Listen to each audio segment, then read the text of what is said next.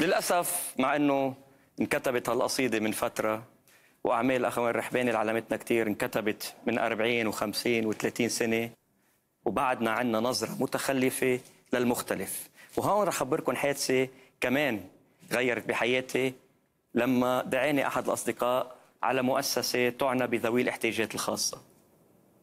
رحت على مؤسسة أكسوفال لأنه من خلال المسرح وهذه الدراسات حقيقية بيعززوا قدرات الشباب والصبايا بيعززوا ثقتهم بنفسهم بيطلعوا على المسرح الناس بتشوفهم بتزقف لهم بيكونوا تحت الأضواء بحسوا حالهم موجودين بحسوا حالهم في لهم قيمة مش مهمشين بالمجتمع. بنفس الوقت هذه وسيلة للتعبير عن ذاتهم. ما بكذب عليكم رحت لزيد على السيفي تبعي تجربة مسرح جديد. وإذ هونيك بوقع بصدقهم بوقع بمحبتهم لما فيها أي زغل علموني كتير. كيف بيعيشوا اللحظة مثل ما كنا عم نحكي.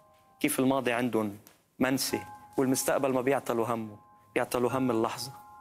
حببوني فيهم كتير وحبوني كتير. بس بالمقابل شفت نظرة مهمشة لإلهم بالمجتمع. لقيت إنه في نظرة فوقية لإلهم أو عدائية أو نظرة فيها شفقة أو بأحسن الحالات لا مبالاة واكتشفت إنه إذا نحن مش قادرين نتقبل حدا خلقة ربه. كيف بدي أتقبل حدا من غير دين أو من غير طائفة أو من غير فكر أو من غير معتقد؟ لذلك قررت أعمل فيلم غدي.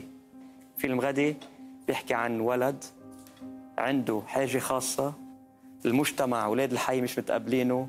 بيو يلي أنا عم بلعب الدور يلي هو لابا بيعمل المستحيل ليخلي ابنه يندمج بالمجتمع وليقول للناس خاصة الأهالي اللي مش واعيين لهالنعمة الأهالي اللي بيعتبروا حالهم معاقبين إنه في ببيتهم. حدا عنده حاجة خاصة حبتها الشخصية تقول إنه أنتم مش معاقبين أنتم مختارين لينزرع ملاك ببيتكم.